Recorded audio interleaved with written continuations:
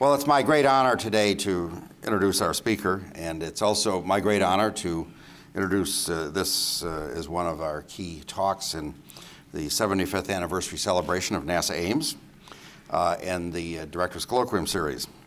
Uh, our, our, speaker today is Dr. Ellen Stofan. Uh, she was appointed the NASA Chief Scientist on August 25th last year. Almost a year. Time goes quick when you're having fun, right?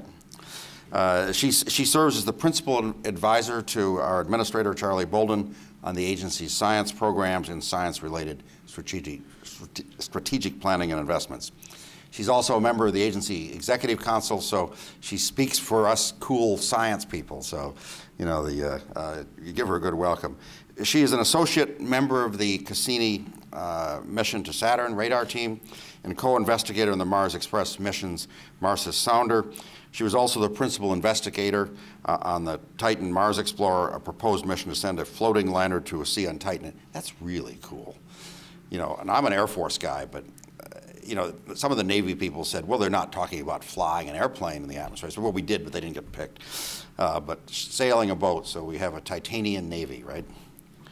Uh, uh, Ellen holds a, a master and doctorate degree uh, in geological sciences from Brown University in Providence, Rhode Island, and a bachelor's uh, degree from the College of William and Mary in uh, Williamsburg, Virginia. Her talk today is entitled NASA Science, Looking Outward, Inward, and Homeward.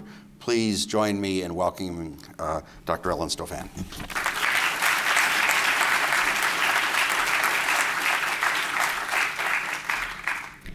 Good afternoon.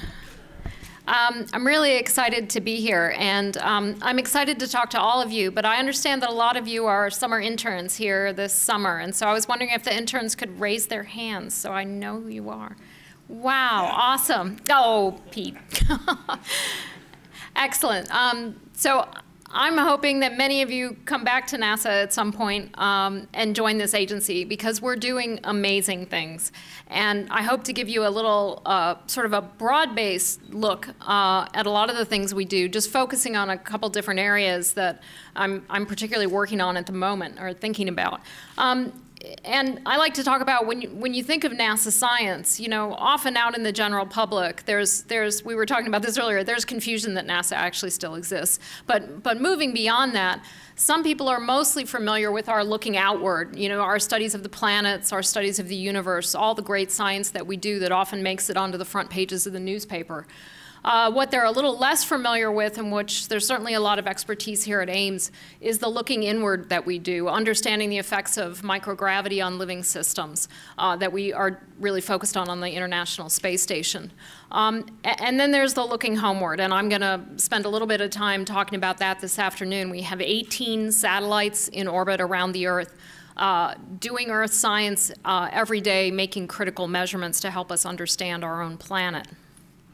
Uh, and this to me sort of summarizes all of the science that we do at NASA, from trying to understand the behavior of our own star, uh, the sun, to our looking back into the earliest moments of, of the universe, uh, trying to understand the nature of star formation, universe formation, galaxy formation, to the research that we're doing up on the International Space Station to help us prepare to send humans beyond low Earth orbit, from the investigations that we do here in our own solar system. We obviously have spacecraft right now pretty much spanning the solar system, from the MESSENGER mission at Mercury uh, to the New Horizons spacecraft, which now, a few days short of one year from now, uh, New Horizons will have its closest encounter with Pluto, which is going to be incredibly exciting.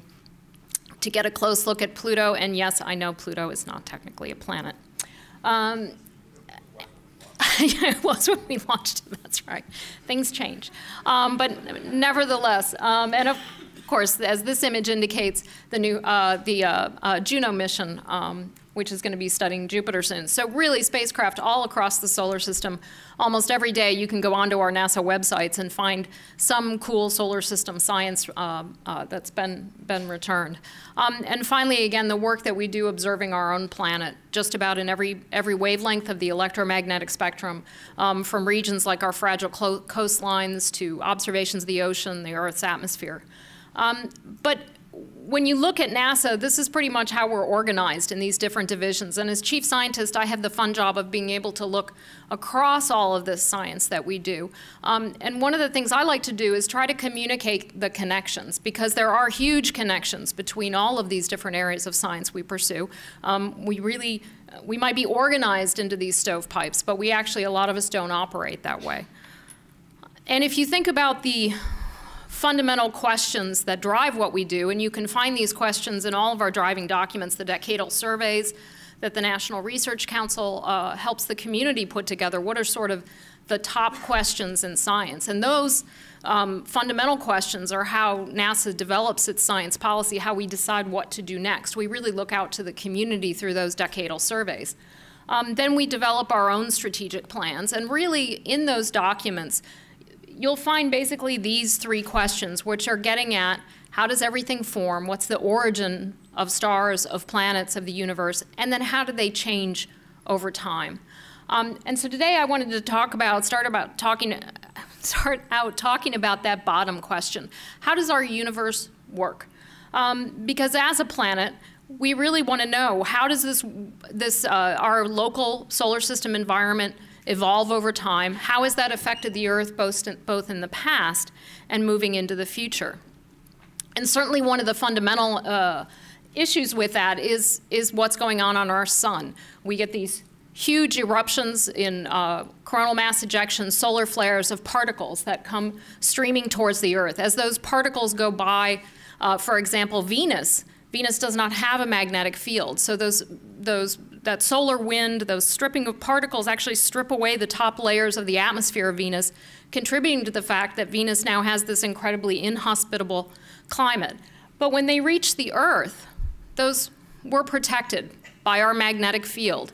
Um, and so those wonderful magnetic field lines send all those particles around the Earth, protecting us from solar particle, protecting us uh, particles, protecting us from cosmic rays here on the surface of the Earth. But obviously, if we want to send astronauts out beyond our little pale blue dot, dot into deep space, we have to learn how to protect them from that harsh solar environment. And again, that's some of the research that we're doing right here at Ames, uh, but also up on the International Space Station every day.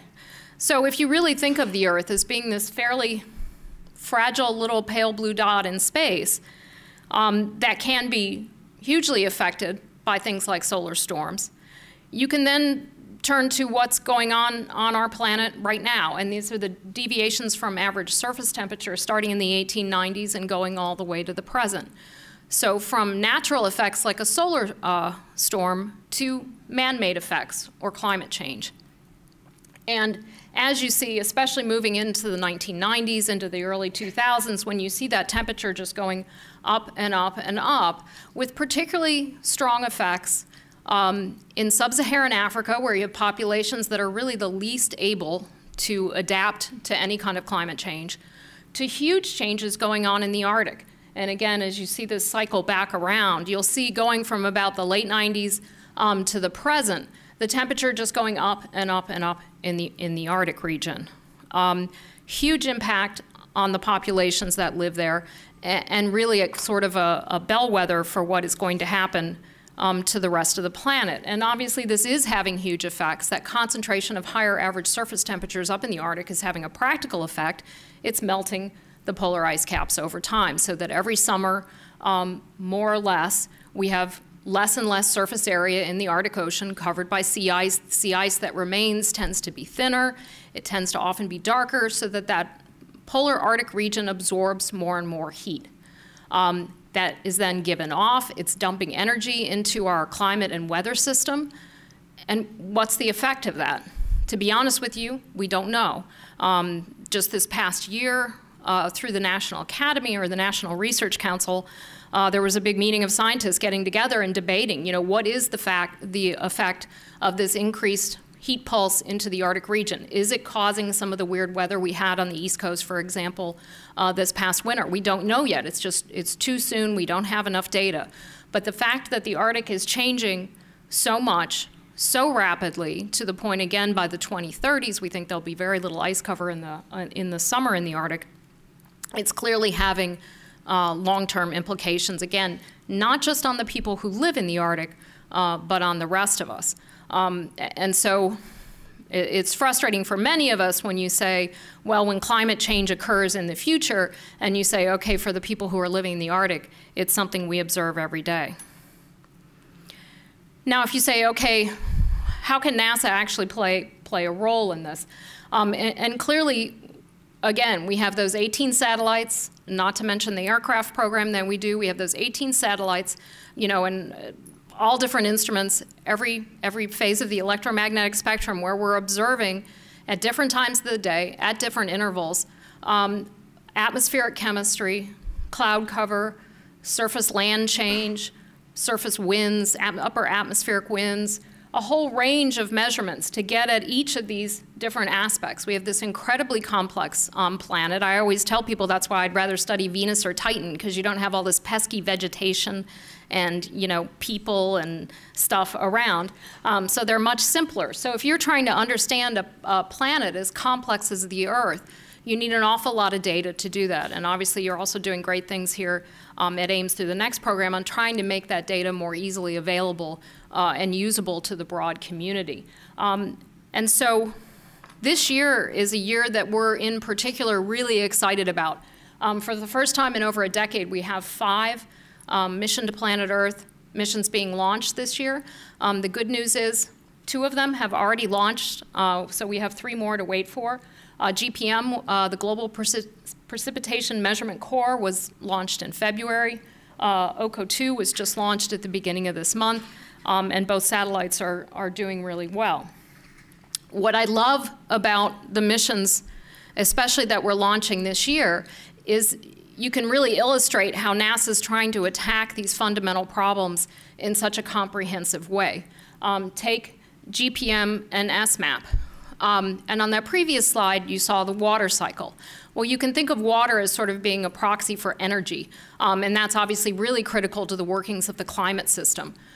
With GPM, we're measuring uh, global precipitation uh, around the globe every three hours, and we're not just measuring how much did it rain, we're measuring what was the size of the, of the raindrops, was there ice mixed in, a favorite of ours on the East Coast, mixed precipitation, um, and the sizes of those ice droplets. Was it, was it uh, snowing, sleeting, uh, and exactly what kind of precipitation is going on? And again, that's important um, for one thing, because again, water can be thought of as a proxy for, for energy in the climate cycle, but also because, go back to the fact that over 70% of the Earth's surface uh, is covered by water.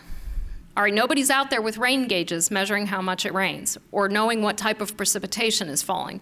So space-based measurements is the only way we can get a comprehensive look uh, at that input into the water cycle.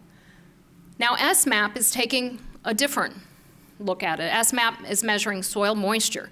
So, okay, again, think of the water cycle, precipitation, evaporation, there's something else in there. Um, um, I'm not good at that song my kids can sing. Um, SMAP is going to be measuring land surface soil moisture. Again, critical to understanding the water cycle, but also critical on a fundamental scale to farmers who want to know how much uh, water their soil is retaining, where are the wet areas, where's it dry, what are the trends, how can we input that data into models. Now a satellite that we've already launched that's not on this, GRACE, is taking another part of that water cycle issue. GRACE measures uh, changes in the Earth's surface, gets at gravity, but we can also actually use it to look at aquifers. Uh, when aquifers have been going in general down these days, for example, in India, we've seen it here in California, we've actually been able to measure very precisely when the Earth's surface goes down because we've been draining aquifers in a lot of cases um, irreversibly, they're not filling back up again. And so we can actually go into the third dimension, down into the surface of the Earth, and understand more about the water balance on the, on the planet. So with three NASA satellites, we're actually attacking all different pieces of this water cycle. So not just a piece of information here or there, but a whole series of pieces of information that we can knit together to better understand some of these very fundamental cycles on our extremely complex planet. Um, and the other thing I, I, will say that's exciting um, about this year is that two of these instruments, um, RapidScat and um, CAT, the Cloud Aerosol Transport System, are both going to be mounted on the International Space Station. So being able to utilize this amazing platform uh, that we have in, in space to be doing Earth science observations in a, in a different orbit than a lot of the polar orbits that we, we put satellites into. It's very complementary to a lot of the other data sets that we're collecting, so we're really excited about that also. Now, if we're trying to understand this complex planet, again, it really helps to put it into context. Um, and for a lot of you summer interns, a lot of the times when I'm telling people, you know, for a long time, people will say, why do you study those plan other planets anyway? Um, and I try to use the analogy of just think if, if you were a doctor and you only had one patient. Um, you might really start to understand that patient, like when they might get sick, when they might be, get better, how resilient they are to disease. But you'd never be able to understand the nature of disease unless you have lots and lots of pa patients.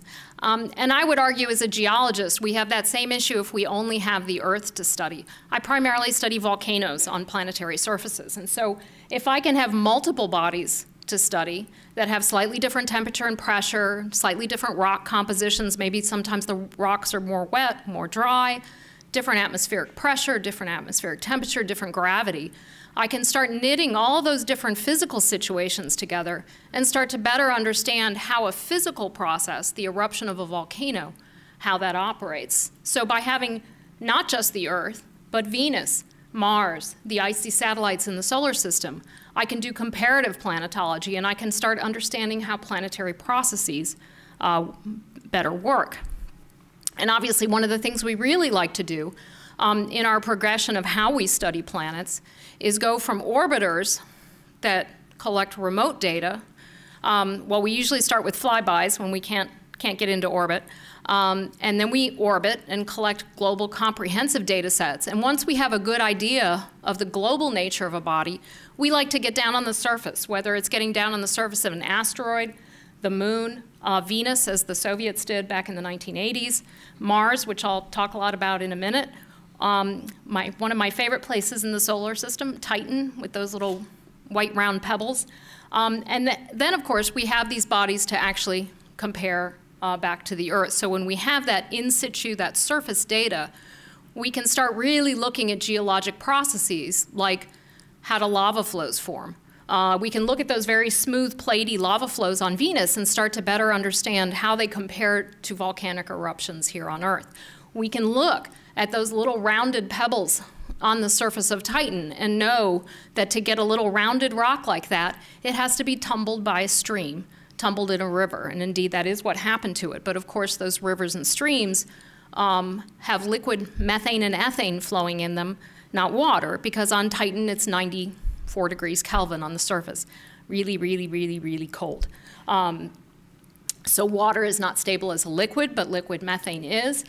But all of a sudden, we have these same processes that occur here on the earth rivers, streams, lakes, seas, uh, and all the processes that come with that waves, currents, tides. But now it's on a body with a different working fluid, different gravity, whole different world, something to compare the Earth to to better understand, for example, marine processes. Extremely exciting. Um, so it's something we'd like to ultimately someday uh, investigate a, a little more closely. Now that top question on that slide, I've been mostly talking about, about how the solar system works. Um, and the top question on that, that list was, are we alone?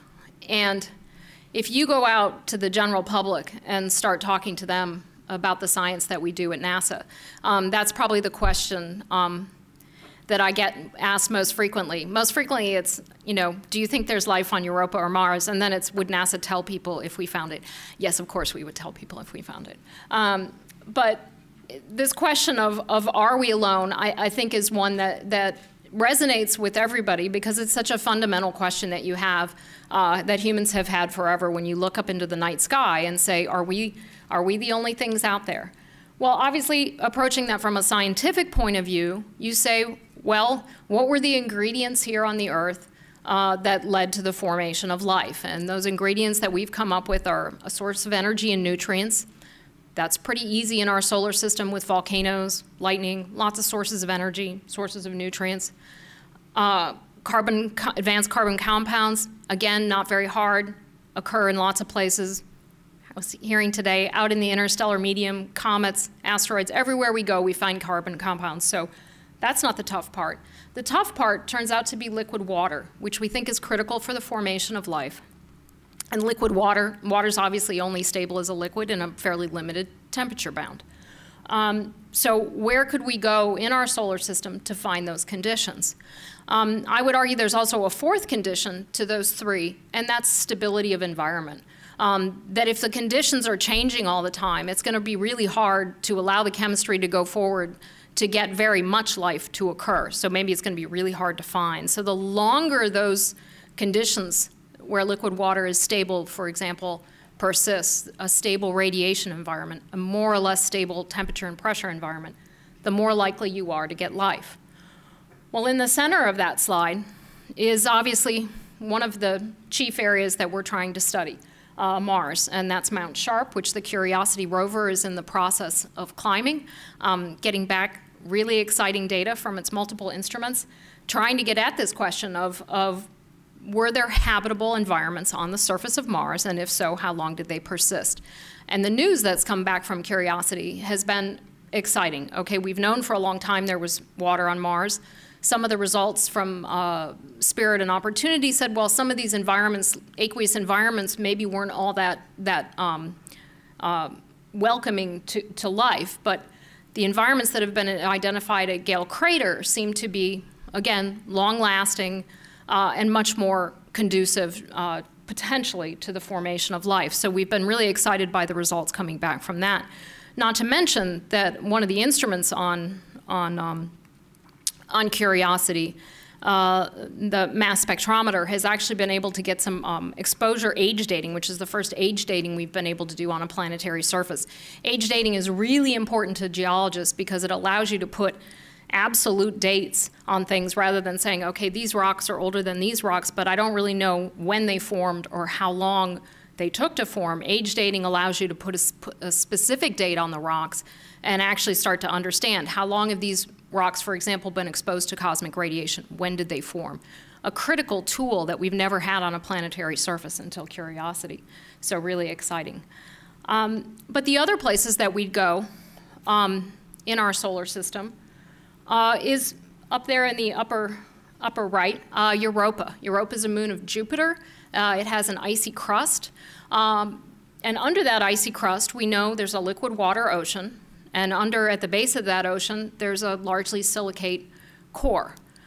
Now, Europa is obviously, in, as I said, in orbit around Jupiter. Jupiter has a massive, is extremely massive, so it's always pulling, pulling, pulling on Europa. It is always tugging also huge tides on Io, one of Jupiter's other moons, and Io is covered with volcanoes. Okay, Europa is a little further out from Jupiter, but still close enough that it has huge tidal effects, up to 30 meters, um, from that pull of Jupiter. Okay, so that silicate core inside of Europa is constantly moving around. That moving around creates frictional heat, enough to melt, enough to cause volcanism. Okay, so think of that icy crust, a big thick water ocean, and then at the bottom of that liquid ocean, volcanoes. All kinds of volcanic vents. Volcanic vents produce heat, they produce lots of nutrients, all kinds of minerals, a great environment potentially for the formation of life. Um, and so one of our primary targets, in fact, just last week, we uh, released uh, uh, an announcement of opportunity for people to start thinking about uh, instruments for the next mission to Europa, which we hope will take place in the 2020s. On the bottom, uh, you see Enceladus, which is another moon of Saturn, like Titan. Uh, Enceladus also has a liquid ocean, but in this case, we think it's a lot smaller, more like a liquid sea underneath its icy crust. So again, no real atmosphere, icy crust, um, subsurface, small in this case, probably sea. Enceladus is also being pulled on by Saturn, and that causes cracks in the surface of Enceladus. And it turns out you have geyser-like eruptions coming from that subsurface ocean, spewing material out. Luckily, with the Cassini spacecraft, we were actually able to fly through those plumes, so we know they're partially water and water ice. But we also know there's all kinds of complex organic compounds coming out from the interior. Now, we don't know exactly what they are because the mass spectrometer on Cassini really wasn't designed to be able to specify exactly what they are, but we know they're comp complex car carbon compounds. So Enceladus is another target potentially to go to in the future to, to really understand how many places in our own solar system could be conducive to life. Um, in the upper left, uh, you see Titan. Again, I talk a lot about Titan, which Nathalie Cabrol will appreciate. Um, but Nathalie and I are particularly interested in, in Titan because of the fact that it has these seas on its surface. Very long lasting, we think they actually persist for likely tens of thousands of years. The seas, again, not water, liquid ethane and methane, uh, all kinds of complicated organic compounds, some like plastics, are forming in the atmosphere of Titan. They form solid particles called tholins.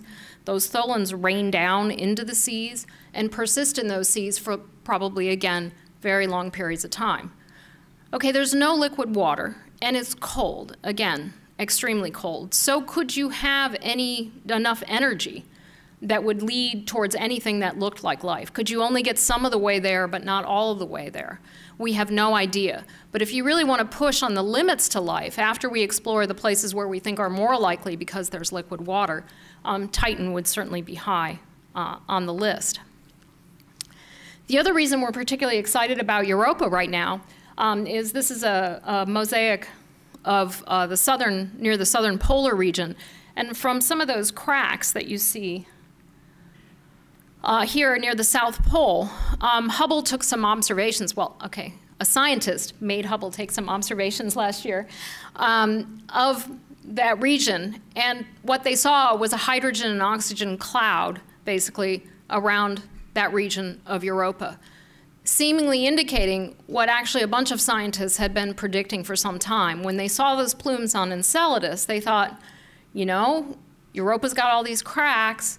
Europa's in this similar situation being tugged on, just like Enceladus is. Maybe we have similar plumes coming out of the pole uh, of, um, of Europa. Uh, the planet was actually also at about the right point in its orbit around, around um, Jupiter where you'd expect it to be really being yanked on, so that would be maybe the maximum time of crack opening, so when you would expect a, a plume to be forming. Now they've looked again and they haven't seen the plumes, so there's a whole bunch of observations planned um, to go back and look again and say, can we see these plumes, can we understand? Now obviously that would hugely affect what you might do next at Europa. Um, because for a long time, we've certainly been wondering, for example, there's this kind of orangey brown stuff uh, on the surface. We don't know what its composition is. That's one thing an orbiter or a flyby, a mission that was in Jupiter orbit going by Europa would certainly get at what's the chemistry of that. But because of that harsh radiation environment, extremely harsh radiation environment because of Jupiter uh, being right there, we don't really think anything could live on the surface of Europa. So anything that's living would likely be subsurface. Okay, you think, okay, from an observational point of view, how am I ever going to get at the composition of that subsurface ocean if all I can do is look at the top of the icy crust? Well, we're certainly interested in, in what that material is on the outside, um, but the fact that Europa might actually be spitting at us samples um, of its interior ocean is extremely exciting from an exploration point of view because it means we can access that material um, and analyze it without having to do all the cool things that you read about that people think about, like melting down through 10 kilometers of ice and putting submarines into the oceans on Europa. Cool things to think about, um, but it, if I want this question answered in my lifetime, my bet is we're going to have to really analyze the material coming out in those plumes. So really exciting um, work to do at Europa.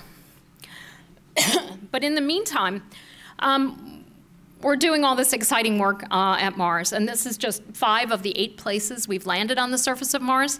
Um, and, and when we think you hear NASA more and more talking about, about humans to Mars, that it, it's really the direction we want to go. Uh, it's the ultimate destination for getting humans down on the surface. Um, and John Grunsfeld, the Associate Administrator for Science, likes to remind everybody, we're already deep in the process of exploring Mars. This is, this is not something new that's NASA doing. The humans would be following in the footsteps of the extensive work that we've been doing robotically um, laying the case to me scientifically for some of the reasons that it's so important to actually get scientists down on the surface of Mars. Lots of different environments that we've explored, uh, both in situ and uh, remotely. And the more research we do, the more we're able to re refine where are the best places to actually go and explore to try to really push at this question of did life uh, evolve on the surface. And so we think of the eventuality, in my mind, again, being, being a, somebody who values field geology hugely.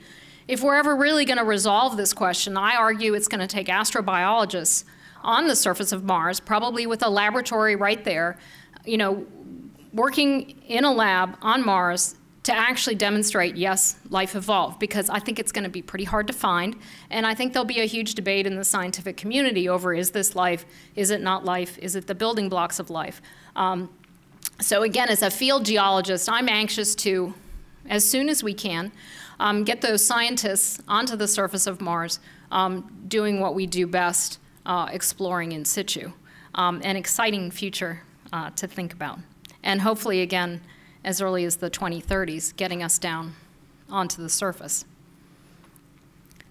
Now you can say, okay, can, can we do this? And I, I um, my, my, some of you know my father worked for NASA, and I found an interview with him that was done in the 1980s. And he was saying um, he was really excited because in the next 20 years we were going to put people on Mars. And it's like, ah, this is depressing. Um, but, you know, I'm confident that if we put our will to it, you know, we, we can do it. And, and what I like is we have this formulated road to Mars, and we're well on the way to attacking bits of this problem. Um, to start at Mars, again, we have, um, I don't want to call it a flotilla, that sounds, uh, well, first of all, nautical, but anyway, um, we have these wonderful spacecraft assets in orbit, on the ground, identifying where the best science is, really getting at a variety of scientific questions, but again, centering around this question of did life uh, evolve on Mars, but also doing a lot of the characterization of the Martian environment that, that we need to do. And, and don't get me wrong, we need to do a lot more. Things like what's the exact nature of the dust on Mars that could be hazardous to humans trying to work on the surface, but trying to fill what we call the strategic knowledge gaps uh, to get ready um, to safely send humans to uh, to work on Mars and return safely back um, to the planet. In the meantime, with humans, we're doing the work that we need to do uh, in what we call the Earth Reliant. Just up on the International Space Station, where we can easily and safely return home to Earth, we're doing this broad range of, of research to understand uh, the effects of microgravity on the human body. And most of you know, huge, a lot of huge negative effects, muscle wasting, bone density loss, rays of intracranial pressure, so you get pressure on your eyes, it affects your optic nerve, uh, effects on your immune system, all of these things um, that we actually have a really detailed list of here are the risks to humans for a trip to Mars that we need to do research, both a mixture of fundamental research and mitigation efforts, to try to make sure that we can safely send humans to Mars in the next 20 years uh, and return them home again. So a huge amount of work being done in this Earth-reliant uh, area, not to mention technology development. Um, most of you are aware, a couple weeks ago we uh, tested a supersonic um, parachute uh, and we want to do more uh, with technology testing, both in, from the ISS and here on, on the ground, just try to start buying down some of the big risks like entry, descent, and landing um, that, that we have to overcome to be able to send humans safely to Mars. And then ultimately, we want to go out to what we, uh, Bill Gerstenmaier calls the proving ground, out in the vicinity of the moon, where we can start going that next step in a more hazardous radiation environment, um, in a more uh, non-Earth reliant but still able to get home in a few days uh, environment to again push these technologies, push developing habitats, push uh, extravehicle acti extravehicular activity, uh, ECLSS, all these different systems that we need uh, to use to get humans to Mars. But the work that we're doing on the International Space Station, I think, is particularly critical. We just got extended through 2024, uh, a critical time period for scientists. If you want scientists or, for example, commercial entities to be able to say, how can I really use this as a platform, having that extension out to 2024 give somebody the reliability to say, I can do a scientific experiment, then I can follow it up, then I can follow it up again. So having that stability of the station out to 24, I think, is really critical. Um, we are, with commercial cargo, um, really coming online. We're able to start more and more regularly, having regular up and down, well, up mass mostly, hopefully soon better down mass coming, coming from the station. Again, making it a reliable environment for scientists to do, to do research. So really excited about a lot of work that we're doing there. Um, and today I've been talking about some of the work that we're doing up on the ISS primarily for getting ready to go to Mars. Um, but obviously there's a huge range of research going on in other areas um, from the cold atom lab where we're, going to be studying atoms that are cooled down to almost absolute zero and studying that behavior. That's going to go up in about 2018. Um, to the work we do in combustion, identifying a new phase of combustion that we're doing work with, all the work in materials science, uh, materials production that in microgravity is so different, crystal growth, huge range of research uh, that's going on on the International Space Station uh, every day. Really exciting. Now, some of you have heard me talk before. You know how much I love this image that was taken last summer of the Cassini by the Cassini spacecraft. You know, a billion kilometers away from Earth, looking back at the Earth um, and observing us as this little pale blue dot in space. Um, redoing the original Carl Sagan image that was done with the, the, Voyager data. And I think, again, if you go back to the beginning of my talk, talking about how we're this pale blue dot in space, you know, subject to the behavior of our star, um, subject to our own uh, misuse of our planet. Um, here you can step back and say, what a technological feat that we have gone over a billion miles, a billion kilometers from our planet and can look back and study it. And so if you look if you look at this now close up from that same image of the Earth-Moon system, it brings up another question. Finding an Earth-like world around another star. Here we're able to look at our own planet as though we were remotely imaging a planet around another star. Just last week at, um, I think it was last week, at, at NASA headquarters, we had a, a, colloquium called The Search for Life in the Universe.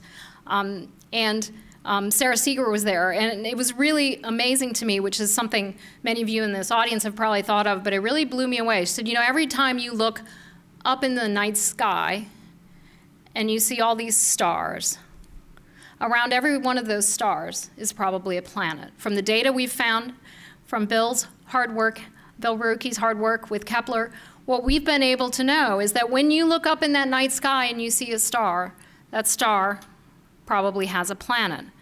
When we look into the deepest, darkest part of the sky, this is what we find when we look at it with Hubble.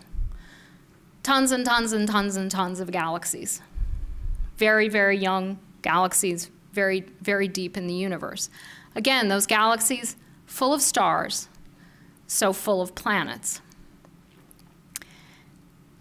And I think the, one of the most amazing things to me, the most exciting things that's, that's come out of Kepler is not just single planet systems, but multi-planet systems.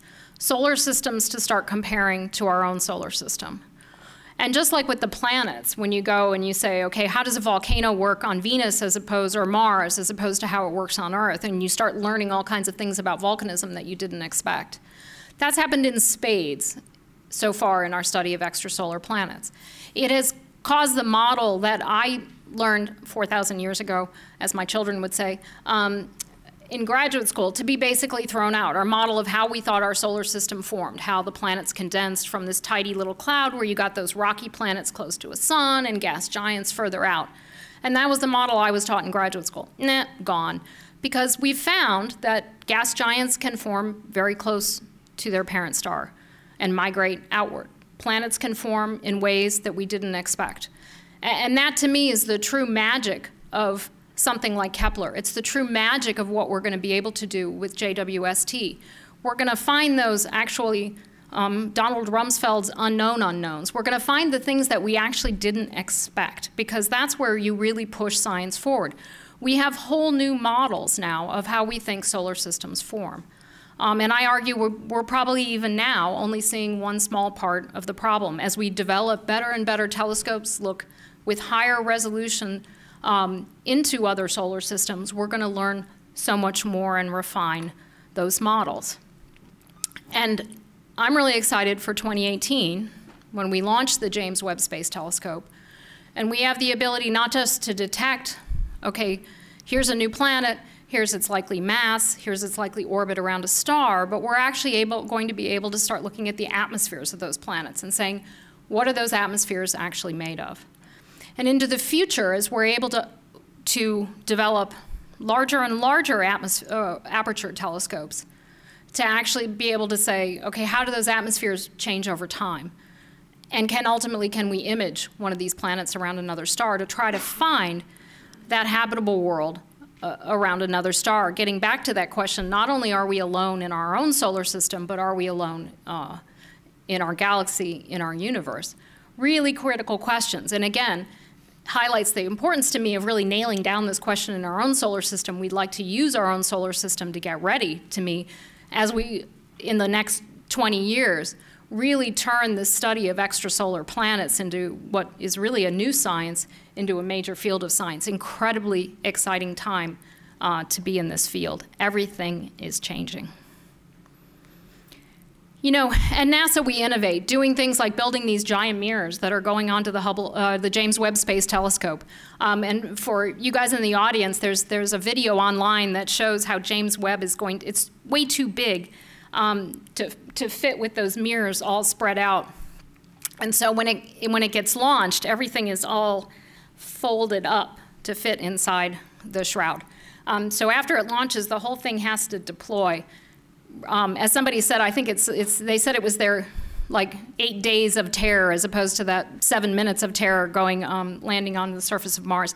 Anyway, amazing technological feat, really exciting. Stay tuned for 2018 and James Webb um, and, and watch that video on the web.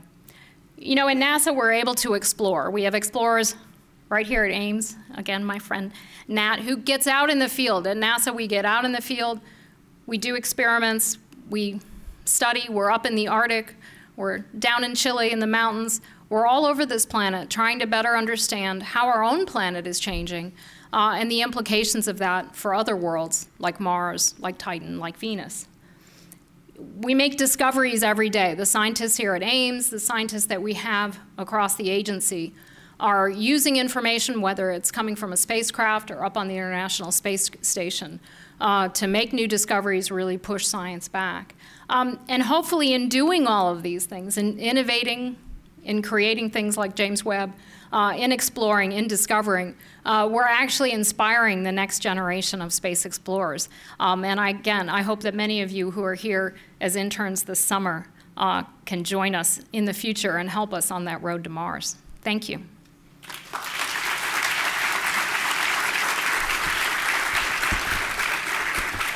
And I actually prefer answering questions to talking, so thank you. Thank you. So we have time for a few questions. Uh, as usual, please uh, raise your hand if you have a question, wait for the microphone, and stand up when you ask your question. Um, there's, there's about a million near-Earth objects big enough to destroy a city, and we don't know where 99% of them are. One hit us last year. Uh, you didn't mention it. Could you talk a little bit about what NASA is doing to understand and uh, mitigate that threat?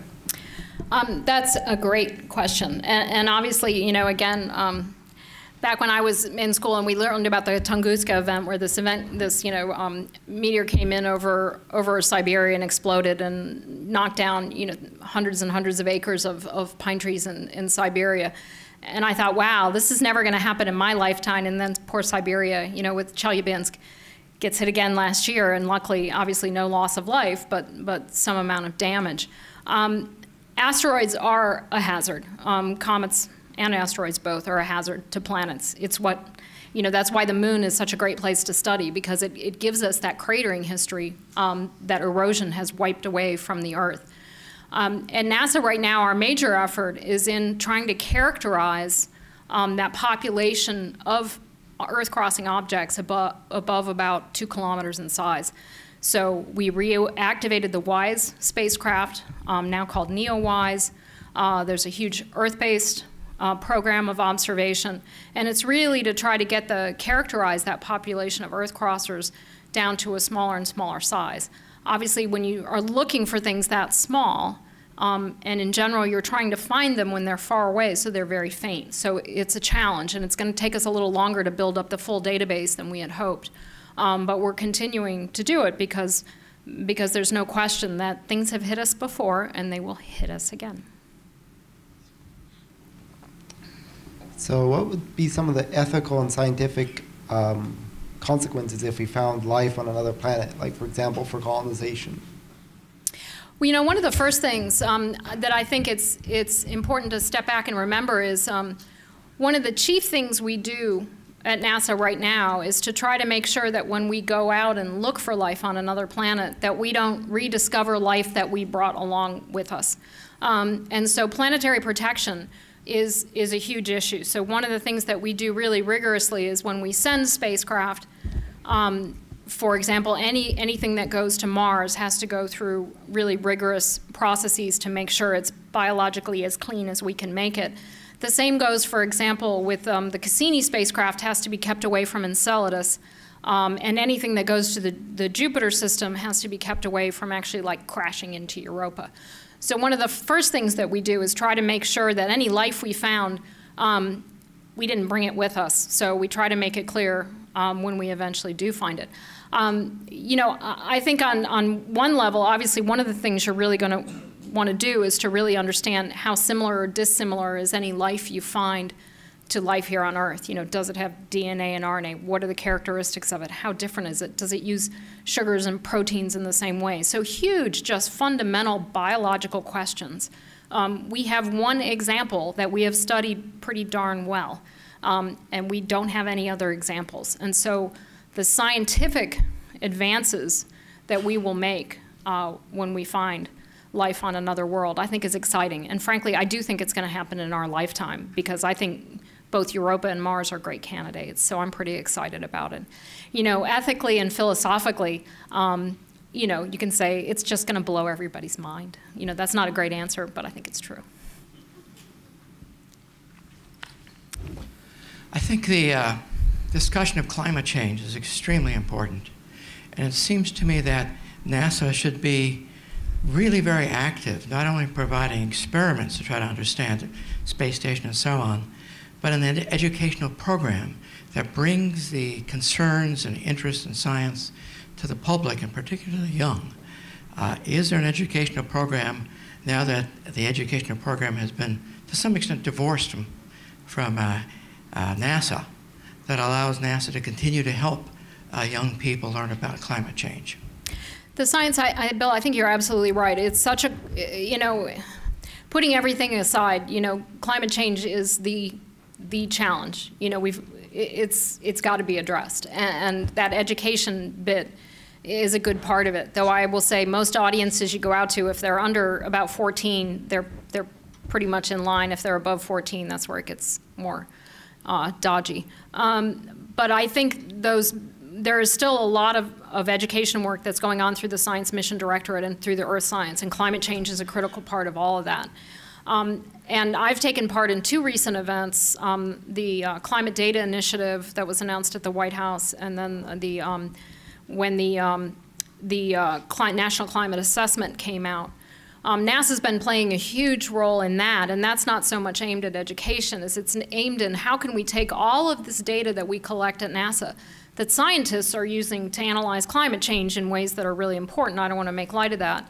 But how can we take that data and actually make it more accessible to, say, a city manager in coastal North Carolina? How can they understand, you know, based on current models, what are the chances of coastal inundation, coastal flooding in this area over the next 10 years? How can we make these predictions and these data that we increasingly now have on a regional level as came out in the National Climate Assessment? How can we make that data available to decision makers maybe not on the national level where there's so much noise, but down on a local level where, for example, in Norfolk, Virginia, you know, it's flooding already. There's subsidence combined with sea level rise, and there, there's a huge amount of money being spent to, to try to fix it, and it's not going to get fixed. Um, and so I think trying to make sure our data sets are readily available to those decision makers out there um, is, in, is as critical as the outreach bit that we do, and it's incredibly important. I will say it's, it's a source of frustration to many people in the agency that if we go out and talk about climate change in Mars, the press quotes us on Mars and not so much on climate change. And I do think there's a lot of people in the agency trying to talk about climate change, but the message doesn't always doesn't always make it to the general public. So I would urge all of you who go out.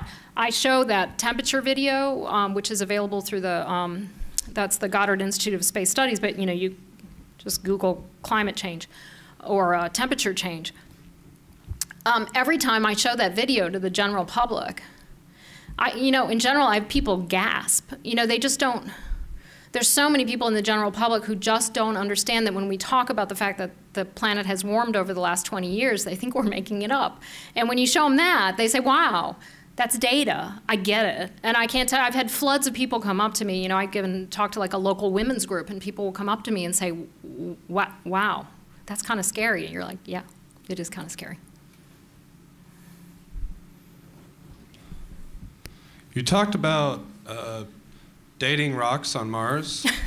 How, that sounds kind of odd, but yeah. Well, I, I, I, was wondering how you go about doing that because uh, if, if you do it with isotopes, I know on Earth you have to use some pretty complex uh, tables that have been developed over the years determining what amounts of, I, of each isotope were present. How do you go about doing something like that on Mars? Um, I, I, it wasn't my research, so I can't exactly quote it to you. I'm pretty sure they use, somebody can shout out and correct me if I'm wrong. I'm pretty sure use, they use potassium argon, um, though they might have used rubidium strontium for one of the others. Um, they, they did a couple different dates.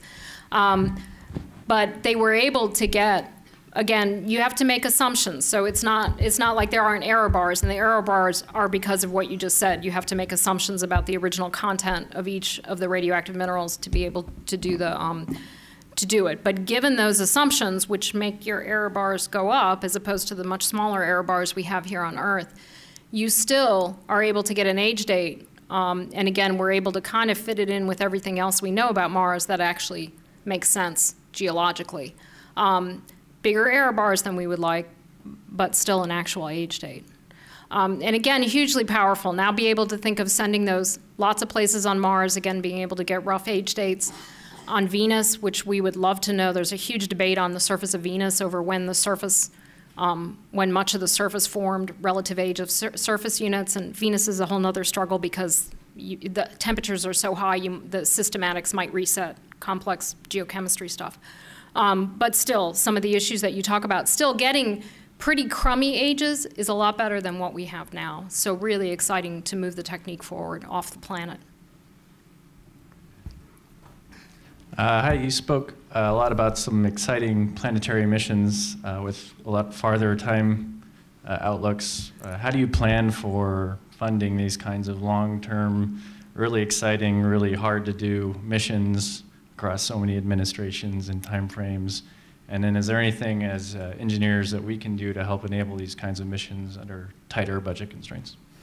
Well, obviously, to some extent, we're a 30-year agency that lives in a two-year town. Um, and, and, you know that that has always been the way it is. Um, and so what it what it takes is a consistent story that's broadly acceptable. Um, if you think of how did we get to the moon, which took an enormous amount of resources, we had a consistent story that was broadly accepted as by the government as the right thing to do.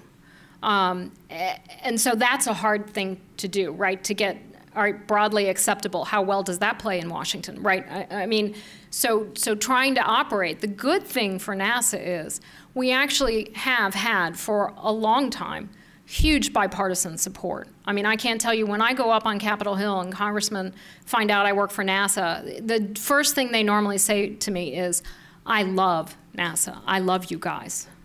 Um, and I think even when people say, well, the federal government is spending too much money, I think people say, well, okay, we, we need to make sure NASA has not um, unlimited resources, but they understand the benefit. I'm not having to stay, sit there and explain, you know, it's an investment in the economy, huge scientific return, public inspiration. They get it. On the other hand, the federal government has a limited amount of money, and there's a lot of pressure on that limited amount of money.